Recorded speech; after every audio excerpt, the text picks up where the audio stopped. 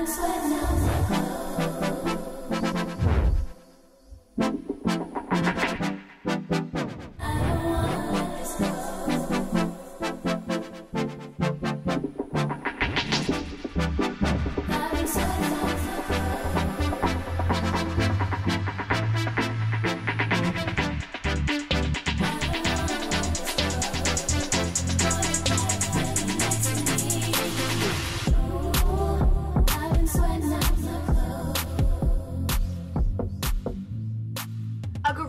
salutations everybody and welcome to this tutorial. Today's tutorial is over this extremely glam, smoky, brown, black, warm, smoky eye. Yes, please. Yes. I love glitter so much and especially if you've been following my um, makeup account on Instagram, you've noticed that I've been uh, messing around with a whole ton of glitter. And I won't stop. Uh, no thank you. Um, I hope this isn't just a phase and that glitter's always gonna be um, on me because I can't stop. Literally can't stop. Like every single look that I've done so far on my Instagram account has involved some form of glitter. For example, like from Star Crushed Minerals, from Glitter Injections. These are glitter injection glitters today. Um, yeah, so I'm a little obsessed right now. Uh, yes to this. Yes to this. I. Yes, yes. Oh, and let's talk about this lipstick as well. You all know Milani is one of my favorite drugstore brands. Um, I have majority of their lipsticks today, but I just rediscovered another one of my favorites, Matte Naked, number 61 from the Milani Matte um, lipstick range. Um, I've used it quite a lot, but I've just kind of fallen back in love with it. So you guys should definitely check it out. This is beautiful in all skin tones. I use this exact color on so many of my brides, from women of color to very fair to very tan. It's just gorgeous on everybody. Also, it's beautiful if you pair it with like a baby pink um, lip gloss to go on top of it to make it even more of a nudie but gloss lip. It's beautiful, especially with this deep dark brown, sparkly, smoky eye that I have going on. Alright everybody, if you would like to see how I achieve this beautiful, extremely beautiful glam eye, please keep on watching. Alright everybody, so I primed my eyes with my Sephora Shadow Stick in Secret Boudoir, then I went in with my Too Faced Natural Matte eyeshadow palette to set that with the color Heaven, just prevent any skippage, any unevenness, just so it makes it easier to blend in any colors we put on top of it. For example, I'm going to be using the color Honey Butter, and I've been recently focusing uh, like crease colors mainly in the inner corner of my eye. I don't know why, I've just been really liking the way that it looks, but again I put it all over the crease and a lot of blending, but I've just been really focusing it in the inner corner of my eye yes to the please. And I'm just making sure to blend to make sure that it's nice and soft and diffused. So whatever color we go in next, which is going to be strapless, it's going to be nice. And like I said, soft and diffused. And it's going to be nice and blended in with each other. Just going back and forth and adding and blending and adding what's new am i right then i went in with this super cool urban decay afterglow blush in the color bang and i went in the same motions from the inner corner, kind of swooping whatever excess product I have left near the outer corner, which I have been doing with these three shadows so far.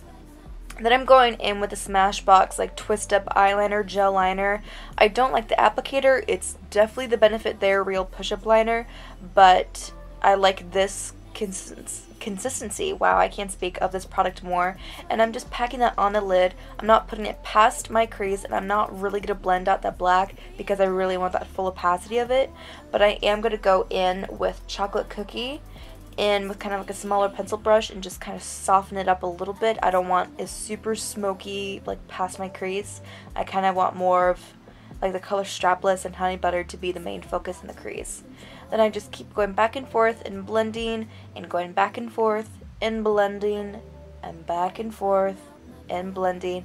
And there wasn't any footage that I showed you guys, but I am using my Makeup Geek Corrupt Black Eyeshadow just to help with building up the opacity. Then I went in with Honey Butter and Chocolate Cookie into my lower lash line just to smoke it out, make it all nice and cohesive. Really smoked it out with this one. And I just combined the two colors together I'm going to corrupt right here for Makeup Geek as well, just to make it a little bit more stronger in its opacity. Then I also brought that down to my lower lash line to make all of it a 360, yes please. And then I'm going in with the Too Faced um, glitter glue. I love this stuff for glitter because it really keeps it in place. It's completely translucent so you can see what I'm doing right here. Then putting it on top of a black shadow. And it does show up a little milky but it doesn't alter the color throughout.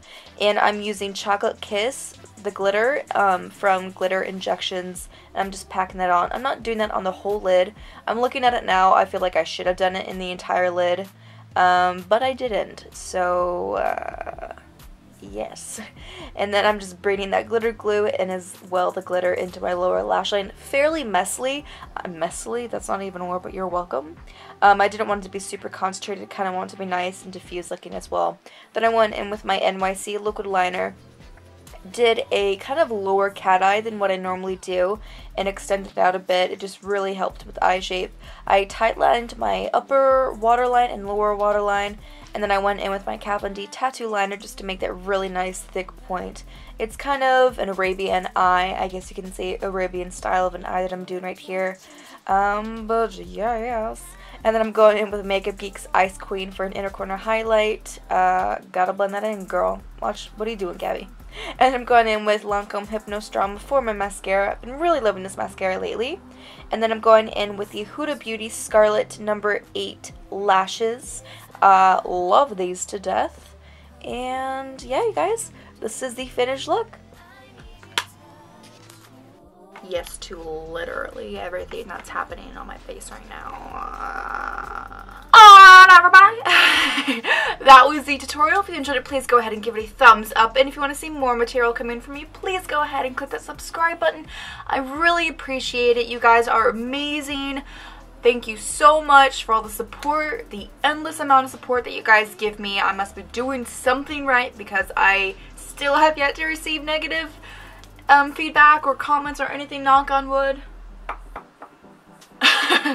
um, but yeah, guys, thank you so much. You guys are truly amazing, especially all the new followers that I've, um, or no, subscribers that I've received literally within the past five days. That's insane.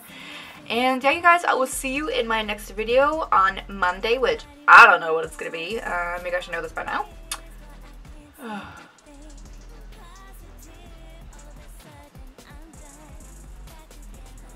this eye, you guys. This I have to go out. I just have to show people this eye. I mean, I just can't just sit inside all day. Don't want to get to your head, Gabi. You know, you know you look good. You know you look good, okay? You know you look good. I mean, my complexion looks good. My It's soft. It's sculpted, but not too sculpted. The lip. Okay. Okay, bye. Sweat,